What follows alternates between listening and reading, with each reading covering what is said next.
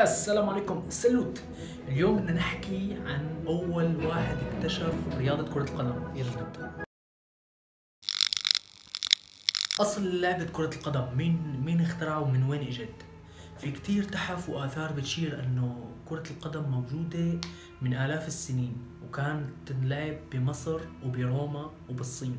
أما بالنسبة للقوانين اللي كانت اللعب على هذاك الوقت كان كل بلد في عندها قانون خاص فيها وخاص بالفريق تبعها. وكانت القوانين تختلف بشكل كتير كبير بالنسبة للقوانين اللي متفقين عليها حاليا. يمكن يكون الخبر كتير غريب عليكم بس مصر القديمة كانت مسقط رأس كرة القدم. ليش مصر القديمة؟ لأنه اكتشافات علماء الآثار آه، هن عم يدوروا بالقبور المصريين القدامى وجدوا كرات قدم مصنوعة من الكتان. وبيرجع تاريخ الكرات ل 2500 سنة قبل الميلاد. واستنادا على الرسومات اللي كانوا يشوفوا علماء الآثار المرسومة على الجدران بالأهرامات وبالمعابد المصرية القديمة اكتشفوا أنه كانوا يلعبوا كرة القدم على زمان الفراعنة. كانوا يعملوا طابات ألوانها زاهية ويلعبوا فيها فوق المحاصيل بيقولوا مشان تكون محصول السنة وفير. وبعد مرور 2000 سنة ظهر شكل وموديل جديد لكرة القدم.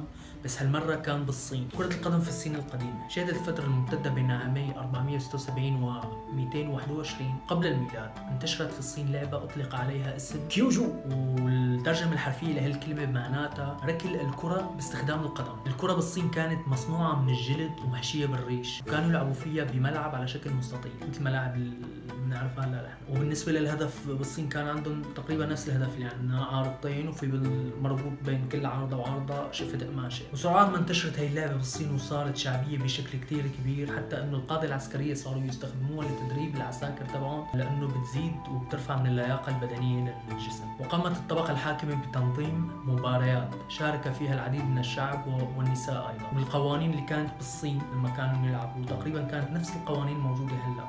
بحق لك تلمس الطاولة بكل جسمك ما عدا الإيدين. بس بالنسبة لأعداد التبديل كانت مختلفة شوي لأنه كان بحق لهم من اثنين ل 10 تبديلات بالمباراة. وبالنسبة للمباريات اللي كانت تنظمها الطبقة الحاكمة كان عدد الفريق يتراوح من 12 ل 16 لاعب. بالنسبة للتحكيم على المباريات الصينية كانت مو دائما تنعطى نتيجة الفوز اللي مسجل أهداف أكثر كانت أحيانا الفوز ينعطى لأداء اللاعبين وللعب الحلو. كان هو اللي يفوز لو حتى هو مسجل أهداف أقل بس اللي لعبوا أحلى ولعبوا أجمل كانوا يعطوه النتيجة له كان اللي يعمل تمريرات قصيرة أو تمريرات فاشلة أو أي حدا بشوط الطابه خارج أرضية الملعب مرات المستطيل المحدد كانوا ينقصوا من نقاطه وهالشيء بيساعد الفريق الثاني على الفوز. كرة القدم في روما القديمة، لعبة كرة القدم بروما ما كان فيها لا استراتيجيات ولا كان فيها خطط ولا كان فيها تكتيك نهائيا، لعبة كرة القدم بروما كانت تلعب ب 54 لاعب وكل فريق يتكون من 27 لاعب، وكان الهدف الوحيد لكل فريق إنه ياخذوا الطابة ويخليها معه وما يخلي الفريق الثاني ياخذها ابدا،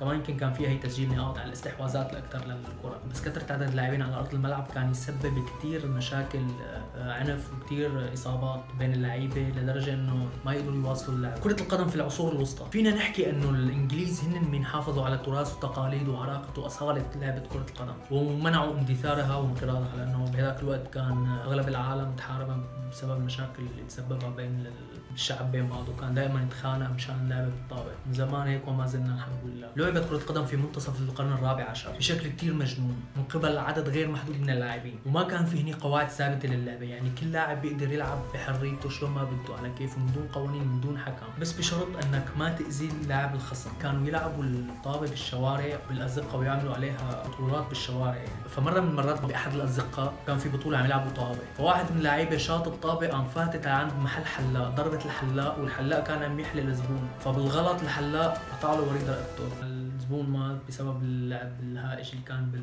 ازقه الشوارع. وكان اللعب بالأزقة والشوارع يسبب مشاكل شغب كثير كبيرة ويعمل أضرار كثير جسيمة بالعالم اللي ماشي بالطرقات وبأصحابين المحلات كمان. وهذا الشيء دفع المسؤولين لأنهم يحظروا لعبة كرة القدم. مع ذلك هالشيء ما وقف شعبية وحب الجمهور للعبة كرة القدم وظلت منتشرة بخفية. مع هيك استمرت شعبية لعبة كرة القدم وضلوا عم يلعبوا فيها لنهاية القرن الرابع عشر. ورجعوا بإنجلترا يمارسوا اللعبة بالأزقة ويلعبوا فيها بالشوارع. لحد ما طلع شيء اسمه ملاعب. خصصوا ملاعب خصوصي للعب كرة القدم. لما كانت المباراة تبلش كان أي واحد بيقدر ينزل على الملعب ويفوت يشارك مع الفريق ويلعب دغري من دون من دون سابق انذار. ينزل ويلعب. حتى تلعبه تم حظر لعبة كرة القدم بالمدارس في إنجلترا بسبب الخشونة وبسبب المشاكل التي كانت تنشأ بين طلاب المدارس.